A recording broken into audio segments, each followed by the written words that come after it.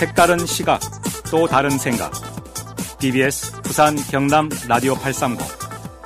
매일 아침 8시 30분 여러분을 찾아갑니다.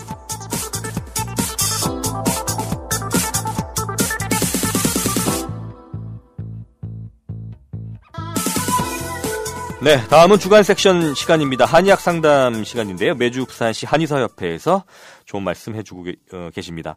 오늘은 청암 한의원 전소정 원장과 함께 하겠습니다. 전화 연결합니다. 원장님 안녕하십니까? 네, 안녕하세요. 네, 오늘은 어떤 이야기 한번 나눠볼까요, 원장님? 오늘은 혀와 건강에 대해서 얘기를 해보려고 하는데요. 네. 자, 어, 혀와, 사람- 네, 말씀하시죠. 네. 네. 사람마다 컨디션을 파악하는 방법이 좀 다양한데요. 체중이나 혈당 수치를 확인하고 부종 여부로 느끼시는 분들도 있고 네. 또 거울에 혀를 한번 비추어 봐서 건강 상태를 살펴보는 것도 평소 건강과 컨디션을 관리하는 좋은 방법이 될 수 있어 오늘은 혀와 건강에 대해서 얘기해 보려고 합니다. 네. 이렇게 뭐 양치하시면서도 혀를 이렇게 내밀고 보시는 분들도 많은데 오늘은 어, 혀의 상태로 건강을 알아보는 그런 음, 시간인 것 같습니다. 자, 혀를 보고 어떻게 건강 상태를 알 수 있겠습니까, 원장님? 한의학에서는 혀가 오장육부의 내장 기능과 건강 상태를 반영한다고 봐서 혀를 진찰하는 설진이라는 방식으로도 환자의 몸 상태를 이해하고 질병에 대한 정보를 얻습니다. 네. 혀의 색깔, 모양, 설태를 관찰하면 몸이 건강한 상태인지 휴식이나 치료가 필요한 상태인지를 알수 있습니다. 네. 혀는 건강을 비추는 거울이라는 말도 있는데요. 혀를 살펴보면 나의 건강 상태를 이해하여 스스로 부족한 부분을 채우거나 일찍 치료를 받음으로써 건강을 유지하는 데 도움이 될 수 있습니다. 네. 저도 오늘 원장님 말씀 듣고는 방송 끝나고 좀 확인을 해봐야 될 것 같습니다. 네. 네. 네. 원장님, 혀가 그러면 어떤 상태일 때 건강하다고 좀 볼 수 있을까요? 신체가 건강할 때 혀는 붉은빛이 도는 분홍색이면서 혓바닥 위에 하얀 설태가 조금 보이는 경우가 정상입니다. 네. 몸이 건강하지 않을 때 신체 균형이 깨졌을 때는 혀와 설태의 색, 모양이 평소와 다르게 변화합니다. 네. 건강에 문제가 생기면 음, 색과 모양이 조금 평소와 다르게 변한다고 하셨는데 그러면은 혀 색깔은 어떻게 달라집니까? 문제가 생기면? 혀에는 혈관이 풍부하게 분포하기 때문에 혀의 색은 혈류의 색을 대변한다고 볼 수 있습니다.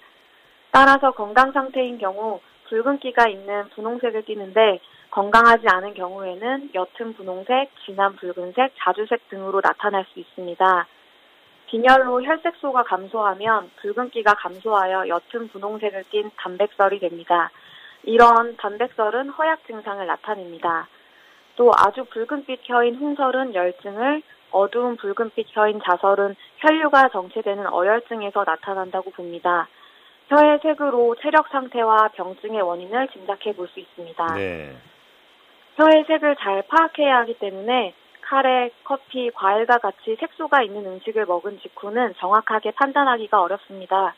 혀를 살펴볼 때는 혓바닥까지 가볍게 양치질을 한 후 살펴보는 것이 좋습니다. 조명에 따라서도 차이가 나기 때문에 음. 같은 장소에서 보고 비교하는 것이 좋습니다. 네. 자, 원장님 양치질을 하면서 설태도 음, 칫솔질을 하는데요. 백태가 이렇게 있다는 것은 어떤 상태를 말하는 걸까요? 건강할 때도 혀의 표면에 하얀 설태가 얇게 있는 것은 정상입니다. 네. 설태는 혀를 덮고 있는 이끼 같은 부착물로 입안, 상피세포, 음식물 찌꺼기, 백혈구가 혀의 표면에 끼어 생깁니다. 설태는 침의 분비량, 입안의 세균, 컨디션 등의 영향을 받기 때문에 몸의 소화 기능, 병의 상태에 따라서 바뀝니다.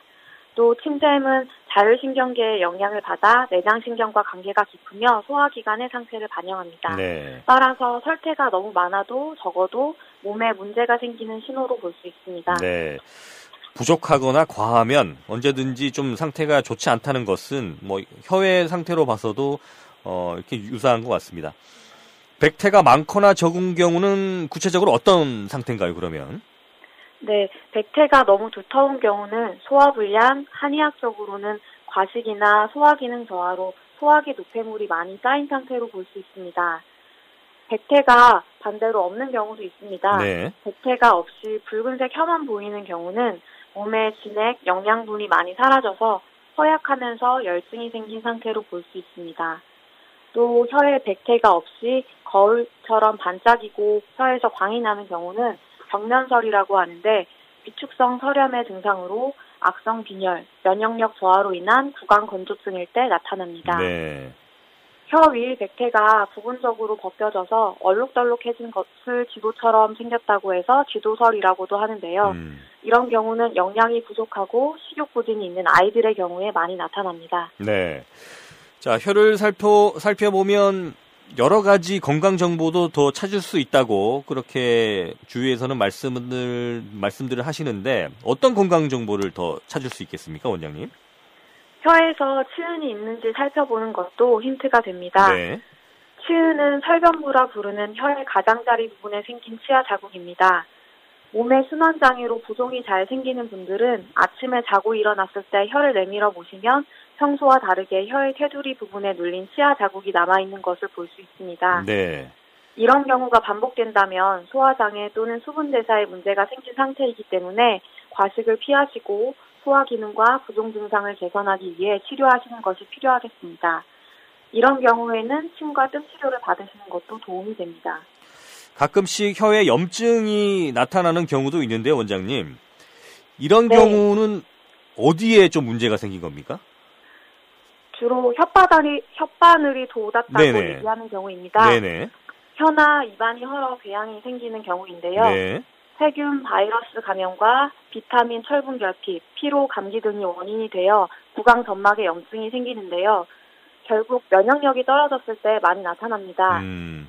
내 몸에 나타나는 작은 신호들을 무시하지 마시고 내 몸이 지쳐서 한번 쉬어가라고 이야기를 해주는구나 생각하시고 평소보다 수면 시간이나 휴식 시간을 늘리셔야 합니다. 네. 혓바늘 같은 염증뿐만 아니라 혀 표면이 갈라지는 경우도 있습니다. 혓바닥이 가뭄철 눈처럼 갈라진 경우를 빈혈설이라고 합니다. 네. 만성 염증이나 영양 결핍, 허약증으로 나타나고 스트레스나 신경 과민으로도 생깁니다. 통증이 없는 경우도 있지만 통증과 함께 화끈거린다, 따갑다라고 느끼는 경우도 있습니다. 네. 혀가 갈라져서 통증이나 감각적인 불편감이 있는 경우는 일반적인 치료로는 특별한 방법이 없지만 이런 경우 가미소요산, 황련탕 등의 한약 치료가 효과적입니다. 네. 오늘 혀와 건강에 대해서 말씀을 해 주셨는데요. 마지막으로 한 말씀 더 부탁드릴까요, 원장님? 코로나 바이러스와 공존해야 하는 위드 코로나 시대에 많은 분들이 면역력을 높이고 건강을 유지하기 위해 어느 때보다도 관심을 많이 기울이실 텐데요. 네. 혀를 한번 잘 살펴보셔서 나의 건강을 잘 챙기시고 불편하거나 고민되는 부분이 있으시면 한의 치료해 보시면 좋겠습니다. 오늘 원장님 말씀은 여기까지 듣도록 하겠습니다. 고맙습니다. 네, 좋은 하루 되세요. 네. 지금까지 전소정 청암 한의원장과 함께 혀의 상태와 건강에 대해서 말씀 나눠봤습니다.